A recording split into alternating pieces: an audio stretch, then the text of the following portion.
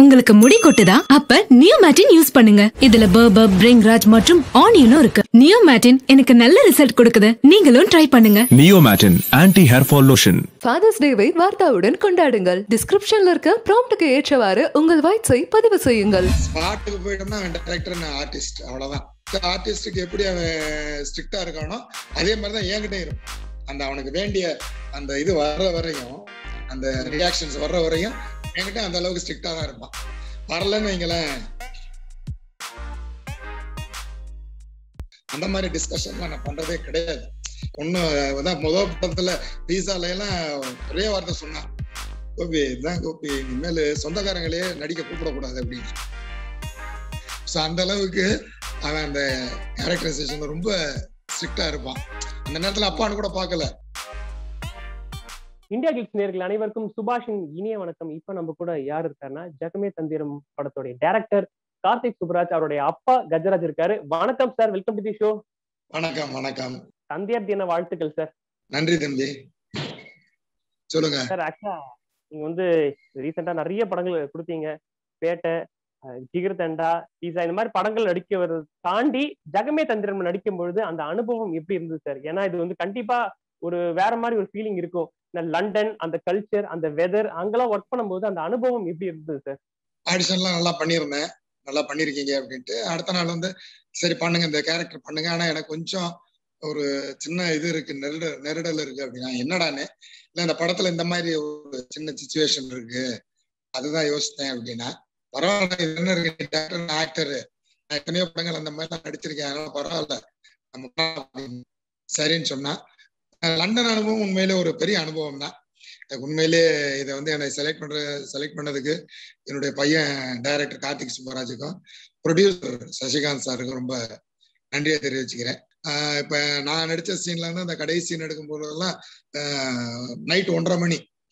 So பெரிய grass field so அதுல வந்து அப்படி ஒரு குளிர் கணேஷ் சார் வந்து கேட்டாரு சார் நீங்க எல்லாம் ஓகே தானே? ஓகே இருக்கீங்களா அப்படின்னா அப்படி. நான் அந்த அளவுக்கு ஒரு குளிர் இருந்துச்சு. ஸோ அந்த மாதிரி எல்லாம் ஒரு நல்ல எக்ஸ்பீரியன்ஸ் ஒரு டிஃபரெண்ட் எக்ஸ்பீரியன்ஸ் அதெல்லாம்.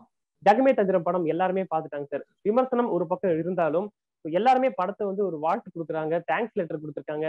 ஸோ அதுல வந்து ஈழத்தமிழோட கஷ்டங்கள் ஒரு டான்னா எப்படி இருக்கணும் ரேசிசம் முக்கியமா சொல்ல போனா சார் அந்த படத்துல ரொம்ப ஒரு எமோஷனல் கேரக்டர்னா முருகேஷ் நந்தன் கேரக்டர் நீங்க பண்ணது ஸோ ரொம்ப ஒரு பாவமான ஒரு கேரக்டரா இருக்கும் அந்த டிஷ் வாஷரா அதுல நீங்க சில வசனங்கள்லாம் சொல்லியிருப்பீங்க சார் இங்க தட்டுகள் என் கூட பேசும் நிறைய எச்சு தட்டுலாம் கழுவணும். அது பின்னாடி கொஞ்சம் பொலிட்டிக்கலான விஷயங்கள் நீங்க வச்சிருக்கீங்க.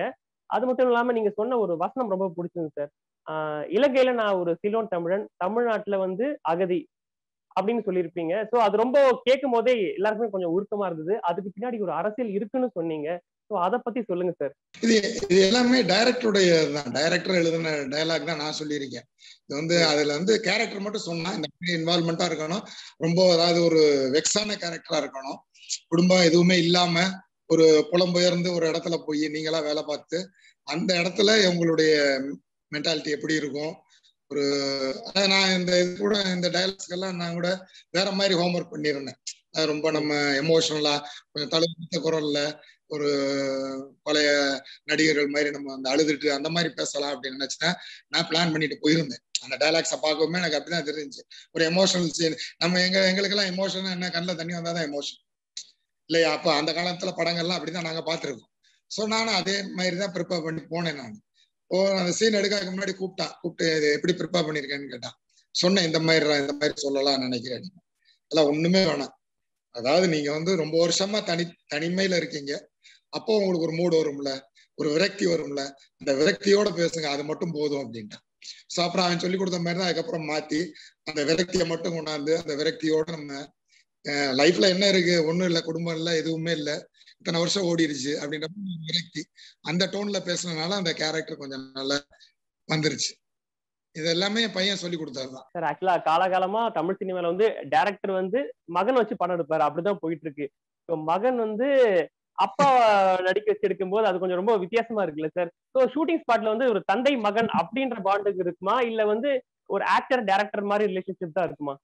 ஸ்பாட்டுக்கு போயிட்டோம்னா அவன் டைரக்டர் நான் ஆர்டிஸ்ட் அவ்வளவுதான். நான் ஏதாவது தப்பு பண்ணாலும் வந்து பக்கத்துல வந்து சொல்லுவான். இந்த மாதிரி இதை வந்து இந்த மாதிரி பண்ணாதீங்க. இன்னொரு இன்னொரு ட்ரிப் கரெக்டா பண்ணுங்க. எனக்கு டைம் ஆகுது அப்படின்னு எல்லாருக்கும் சொல்ற மாதிரியே வார்னிங் கொடுத்துருவாங்க. அங்கே வந்து அவன் டைரக்டர் நான் ஆர்டிஸ்ட் அப்படிதான் இருப்பேமே தவிர அதே மாதிரி என்னுடைய போர்ஷன் முடியவும் நீ கிளம்புங்க ரூம் கிளம்புங்க அப்படின்றான். இருக்கலாம் விட மாட்டான். உட்கார்ந்து அவனோட உட்காந்து பாக்குறது மானிட்டர்ல உட்காந்து பாக்குறது அந்த வேலையே கிடையாது. என் போர்ஷன் முடிஞ்சா ஆர்டிஸ்ட் மாதிரி நீங்க வீட்டுக்கு போலாம் அப்படின்றான். சரி நான் பாட்டு கிளம்பி வந்துருவேன் நான். ஸோ அந்த மாதிரி அந்த இடத்துல டைரக்டர் பையன் வீட்டுக்கு வந்துட்டோம்னா நாங்க வந்து ஆஹ் அப்பா பையன் மாதிரி பேசுவோம். என்னடா இப்படி நடந்துச்சு என்ன ஏது அவ்வளவுதானே தவிர எடுத்தா நான் போக மாட்டேன். இன்னைக்கு இந்த சீன் ஏன் இப்படி எடுத்த அப்படி எடுத்த அந்த மாதிரி டிஸ்கஷன்லாம் நான் பண்றதே கிடையாது. ஏன்னா என்னைய காட்டிலும் அவனுக்கு நல்லா தெரியும். As a director he knows very well இல்லையா? எல்லாத்தையுமே அவங்களுக்கு தெரியும். அப்ப நம்மளுக்கு என்ன? நம்ம நடிக்கிறதோட சரி. அதை தவிர அந்த நாலேஜ் நம்மளுக்கு கிடையாது. அதனால அந்த இதோட நான் நிப்பாட்டிக்கிறது ஆஹ் ஏதாச்சும் கொஞ்சம் ஒரு டென்ஷனா இருந்தானா அவனை கன்வின்ஸ் பண்ணுவேன் இந்த மாதிரி பண்ணாத அப்படின்னு ஒரு அட்வைஸ் மட்டும் கொடுப்போம்.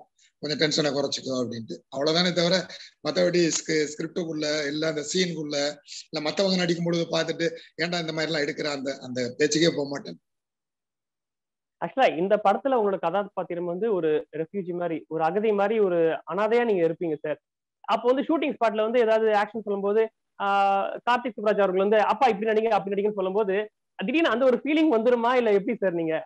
ஆனா அப்பா என்ன கூப்பிட்டாகணும். அப்பா இப்படி பண்ணுங்க அப்படி பண்ணுங்க அப்படிலாம் சொல்லுவார்ல. அப்போ உங்களுக்கு அந்த கேரக்டர் தாண்டி அப்பா பையன். அதான் அந்த அந்த இடத்துல வந்து என்ன கரெக்ட் பண்ணணுமோ அதை வந்து பாலிஸ்டா கரெக்ட் பண்ணிட்டு போயிடுவான். அவனுக்கு வேண்டியதை அவனுக்கு வேண்டிய எமோஷன்ஸ் வாங்குற வரையும் வந்து கரெக்ட் பண்ணிட்டு போயிடுவான். அந்த இடத்துல அவன் டைரக்டர் என்னை கூப்பிடுறதா இங்க வந்து அப்பா தான் கூப்பிடுவான். நான் நான் என்ன இந்த மாதிரி அப்படின்னு தான் சொல்லுவாங்க.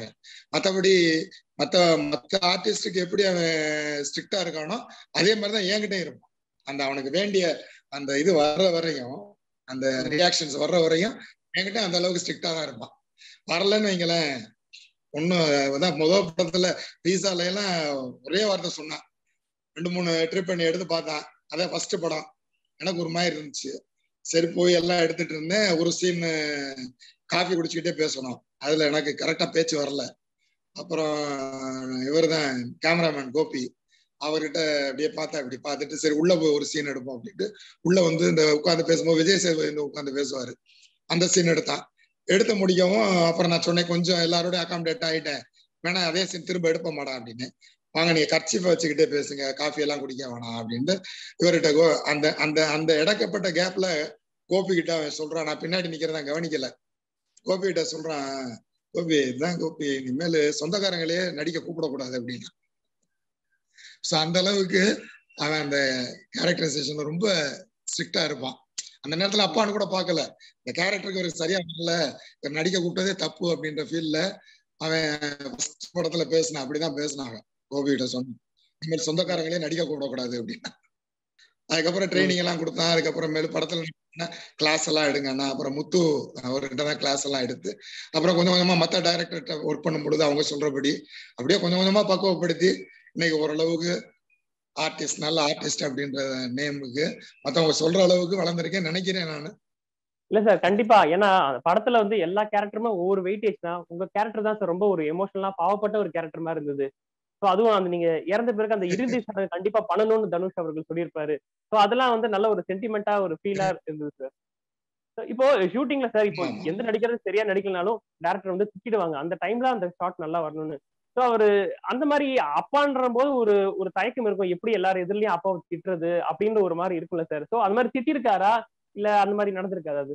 இல்ல அந்த இந்த நேரத்துல அசிஸ்டன்ட்ட சொல்லி விட்டுருவான் அப்பா கிட்ட போய் சொல்லிடு இந்த மாதிரி தான் பண்ணணும் சொல்லிடு அப்படின்ட்டு அசிஸ்டண்ட்டை கூப்பிட்டு சொல்லி விட்டுருவான். சோ அவன் வந்து அப்பா இந்த மாதிரி பண்ணுங்கப்பா அப்படின்ட்டு அசிஸ்டண்ட இல்ல இல்ல எல்லாருமே என்னை அப்பா தான் கூப்பிடுவாங்க. அப்பா இந்த மாதிரிப்பா அண்ணன் சொல்லி விட்டாரு இந்த மாதிரி பண்ணுங்க அப்படின்னு சொல்லிட்டு கோடைரக்டராக அசிஸ்டன்ட் யாராச்சும் வந்து என்கிட்ட சொல்லிட்டு போயிடுவாங்க. அந்த மாதிரி பண்ணிடுவான் ரொம்ப இதா இருந்துச்சுன்னா அந்த மாதிரி பண்ணிடுவான். சில நேரத்துல அவனே பக்கத்துல வந்து இந்த மாதிரி பண்ணுங்க ஏன் நல்லா தானே பண்ணீங்க ஆடிஷன்ல அதை தான் எதிர்பார்க்கிறேன் இந்த மாதிரி பண்ணுங்கன்னு சொல்லிட்டு போவான். பட் அந்த அளவுக்கு நான் விட்டுக்கிறேன் இல்ல ஓரளவுக்கு கரெக்டா பண்ணிடுவேன் அவன் சொல்ற அளவுக்கு கரெக்டா பண்ணிடுவேன் லண்டன்லாம் சுத்தி பாத்தீங்களா? அந்த ஸ்ட்ரீட் வாக் அந்த மாதிரி எல்லாம் போன எக்ஸ்பீரியன்ஸ் இருக்கா சார் ஆக்சுவலா லண்டன் வந்து நான் முன்னாடி ஃபேமிலி டூரா போயிட்டோம் நாங்க. அதனால நாங்க ஷூட்டிங் பண்ண கரெக்டா இருக்கும். டைம் முடிச்சு நாங்க என்னுடைய சீன்ஸ் எல்லாம் எடுத்தது அங்க இருந்து ஒரு லண்டன் ப்ராப்பர் லண்டன்ல இருந்து ஒரு த்ரீ ஹவர்ஸ் ஜெர்னி ஸோ அங்கேதான் ரூம் போட்டிருந்தாங்க. கென்ட்னு ஒரு இடம். அந்த ஒரு இடம் அங்கேதான் எல்லாமே எடுத்தாங்க. நிறைய ஷூட்டிங்ஸ் இந்த சாங் எடுத்தது அந்த லிட்டில் மதுரை பண்ணது எல்லாமே அங்கேதான் கென்ட்ல தான். ஸோ அது லண்டன்ல இருந்து ஃபார் அவே ஸோ அப்படின்றப்ப எங்களுக்கு முடியும் ஒரு ரூமுக்கு வர்றதுங்க கரெக்டா இருக்கும். தனுஷ் சார் அவர் கூட நடிச்ச சீன்ஸ்லாம் எப்படி சார் இருந்தது? ஏன்னா அவர் வந்து இப்ப எல்லாரும் குட்டி ரஜினி அப்படின்னு சொல்றாங்க. ஏன்னா அவர் நடிப்பு வந்து ரஜினி சாரோட ஸ்டைல் லைட்டா அந்த சாயல் வரா மாதிரி சொல்றாங்க. ஸோ அதை பத்தி சொல்லுங்க சார். அதாவது யாராச்சும் ஒரு இன்ஸ்பிரேஷன் இருக்கதான் செய்யும் இல்லையா. வளர வளர வந்து சில அடுத்து வந்து தனுஷ் சாருக்கு வந்து அவர் வந்து மாமனாரு. தலைவர் அப்படின்றப்ப அவருக்கு ரொம்ப இன்டிமேசியா இருக்கும்ல. அதனால அவர் அவர் அறியாமலே சில இடங்கள்ல அந்த மாதிரி வந்துரும். அது வந்து நேச்சர் தானே அதெல்லாம். ஏன்னா இது ஆக்சுவலா உண்மையிலேயே இது ஒரு நல்ல படம். அதாவது படமா பார்த்தோம்னா ஒரு நல்ல படம். ஒரு நல்ல விஷயத்த வந்து சொல்ல வேண்டிய விதத்துல சொல்லியிருக்கான். ஒரு டான் காமிச்சு ஒரு இந்த படத்துல எல்லா அம்சமும் இருக்கு. நீங்க பாத்தீங்கன்னா ஃபைட் சீன்ஸ் நல்லா இருக்கு. அடுத்து காமெடிக்கு காமெடியும் இருக்கு. அடுத்து ஒரு சின்ன கதையும் இருக்கு. ஒரு எமோஷன்ஸ் இருக்கு. அந்த சாங் எல்லாம் நிச்சயம் நம்ம கண்ணில் தண்ணியா கொண்டாந்துரும். கண்டிப்பா அழுதுருவாங்க. யாரா இருந்தாலும் அந்த தன்னை அறியாமலே கண்ணில் தண்ணி வந்துடும் தேய்விரை சாங் ஸோ அந்த அளவுக்கு ஒரு பிரமாதமான சாங் அது. அது வச்ச இடம் அந்த அந்த அந்த சுச்சுவேஷனுக்கு அந்த சாங் ரொம்ப பொருத்தமா இருந்துச்சு. ஸோ அந்த மாதிரி எல்லா எல்லா ஆஸ்பெக்ட்ஸுமே இந்த படத்துல இருக்கு. உங்களோட நடிப்புக்கு என்ன மாதிரி ரெஸ்பான்ஸ் வந்தது சார் பர்சனலா உங்களுக்கு கால் பண்ணி பேசுவாங்கல்ல உங்களோட சர்க்கிள்ல நல்லா பண்ணிருக்கீங்க இந்த படத்துல. மற்ற படங்களை காட்டில இதுல உங்களுக்கு ஒரு நல்ல நேம் கிடைக்கும். இருந்துச்சு உங்களோட எமோஷன்ஸ் எல்லாமே நல்லா இருந்துச்சு. ரொம்ப டச்சிங்காவும் இருந்துச்சு அப்படின்ட்டு எல்லாருமே பேசுறாங்க. அதான் மற்ற படங்கள் நடிச்சு வந்த கால்ஸை காட்டிலும் இந்த படத்துல எனக்கு நிறைய ஃபோன் கால்ஸ் வருது. Super sir. இப்ப அடுத்த படங்கள்லாம் என்ன சார் கமிட் ஆயிருக்கீங்க? வேற மத்த டேரக்டர்ஸ் கூட. இல்ல இது கொரோனா டைம்ல இன்னும் ஒன்றும் பெருசா கமிட் ஆகல. இப்போதைக்கு இவர் சார் சிவகார்த்திகேயன் சாரோட டான் படத்துல கமிட் ஆகிருக்கேன் ஒரு ஒரு நாள் ஷூட் போயிட்டு வந்தேன். அதுக்கப்புறம் இந்த பேண்டமிக்னால அப்படியே நிப்பாட்டி வச்சிருக்காங்க. அடுத்து இவர் பொன்ராம் சார் படத்துலயும் கமிட் ஆகிருக்கேன் விஜய் சேதுபதி வச்சு எடுக்கிறாருல அந்த படத்துலயும் கமிட் ஆயிருக்கேன். அப்புறம் என் பையன் படம் விக்ரம் துரு விக்ரம் வச்சு எடுக்கிறாருல அதுல கமிட் ஆயிருக்கேன். மூணு படம் தான் இப்போதைக்கு ஆமா சார். ஸோ இன்னைக்கு ஃபாதர்ஸ் டேன்றதுனால உங்க மகன் என்ன கிஃப்ட் ஏதாவது கொடுத்தாரா? வாழ்த்து சொன்னாரா? ஃபோன் பண்ணி காலையிலேயே ஃபோன் பண்ணி வாழ்த்துக்கள்லாம் சொல்லிட்டாங்க. என் பொண்ணு என் மகன் எல்லாருமே சொல்லிட்டாங்க. வாழ்த்துக்கள் சொல்லிட்டாங்க. அது ஒண்ணு போதுமே நமக்கு. ஆமா டேரக்டர்னால ஏதோ ஒரு மைண்ட்ல திங்கிங்ல இருப்பாங்க. ஆனா இருந்தாலும் அப்பாக்கு மறக்காம கால் பண்ணி சொல்றாரு நல்ல விஷயம். கார்த்திக் சுப்பாரோட அப்பான்னு சொல்றது எனக்கு ரொம்ப பெருமையான விஷயம். கண்டிப்பா சார் ஒரு டேரக்டர் ஆக்டர் இல்லாம ஒரு தந்தை மகனுக்கு சொல்லணும்னு நினைச்ச விஷயங்கள் ஏதாவது ஒண்ணு இருந்தா நீங்க சொல்லலாம் சார் இல்ல பையனுக்கு வந்து ஆக்சுவலா படிச்சு முடிக்கவுமே சில அட்வைஸ் அவ்வளவுதான். அப்புறம் அவனுடைய லைஃப் ஸ்டைல் நான் இப்படிதான் போவேன் அப்படின்னு சொல்லும்போது ஓகேன்னு நான் வந்து பெர்மிஷன் கொடுத்துட்டேன். உன் வாழ்க்கை உன் கையில். தலைவர் சொன்ன மாதிரி உன் வாழ்க்கை உன் கையில் சொல்லி நீ சினிமாக்கு தான் போகணும்னா சினிமாவுக்கு போ அப்படின்னாச்சு. ஸோ அந்த அளவுக்கு அவனை ஃப்ரீயா விட்டுருவேன் நான் எப்பயுமே. என்னைக்குமே எல்லா பேரண்ட்ஸுமே அப்படிதாங்க இருக்கணும். அதாவது பிள்ளைகளுக்கு அட்வைஸ் பண்ணலாம். கம்பல் பண்ண முடியாது. நம்மளுடைய தாட்டுக்கு வந்து அவங்கள கொண்டாட முடியாது. நான் இன்னைக்கு வந்து உங்களுடைய மாதிரி யங்ஸ்டர்ஸுடைய தாட்லாம் இன்னைக்கு வேற லெவல் ஸோ அவங்களுக்குன்னு ஒரு ஆம்பிஷன் இருந்தா அதை விட்டுறணும். அந்த அதாவது என்னைக்குமே ஒரு பேஷன் இருந்துச்சுன்னா அந்த பேஷன்ல விட்டோம்னா தான் அவங்க பெரிய ஆள் ஆவாங்க. அந்த பேஷனை விட்டு அவங்கள டைவெர்ட் பண்ணிட்டோம்னா அவங்களுடைய மனசு பூராமே வேற மாதிரி போயிடும் நம்ம அப்படிதானே ஆக நினைச்சோம். அப்பா அம்மா இப்படி கொண்டாந்து விட்டுட்டாங்களே இதுல என்ன இருக்க போகுது? அந்த மென்டாலிட்டியில தான் எல்லாம் போகும். கடைசியில் அவங்க லைஃப்பை நம்மளே பேரண்ட்ஸே ஸ்பாயில் பண்ற மாதிரி ஆயிரும். அதனால இந்த கால பிள்ளைகளுக்கு வந்து அட்வைஸ் பண்ணணும். இல்ல அவங்க கரெக்டா இருக்காங்களா அப்படின்றப்ப துணி துணிஞ்சு விட்டுருணும் அவங்கள. அவங்க அவங்க லைன்ல பெரிய ஆளா ஆயிடுவாங்க. கண்டிப்பா அவங்களுக்கு வந்து இப்ப எங்க நம்மளுடைய நாலேஜை காட்டில் அவங்களுக்கு நாலேஜ் ஜாஸ்தி.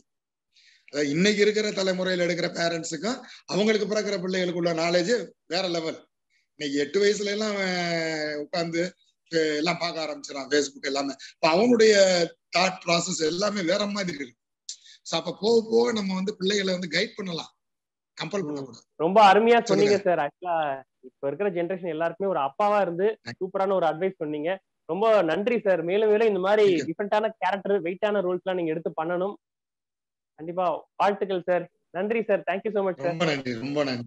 உங்களுக்கு முடி கொட்டுதா? அப்ப நியோமேட்டின் யூஸ் பண்ணுங்க. இதுல பர்பர் பிரிங்ராஜ் மற்றும் ஆனியனும் இருக்கு. நியோமேட்டின் எனக்கு நல்ல ரிசல்ட் கொடுக்குது. நீங்களும் ட்ரை பண்ணுங்க. நியோமேட்டின் anti hair fall lotion Father's டேவை வார்த்தாவுடன் கொண்டாடுங்கள். டிஸ்கிரிப்ஷன்ல இருக்க ப்ராம்ப்டுக்கு ஏற்றவாறு உங்கள் வாய்ஸை பதிவு செய்யுங்கள்.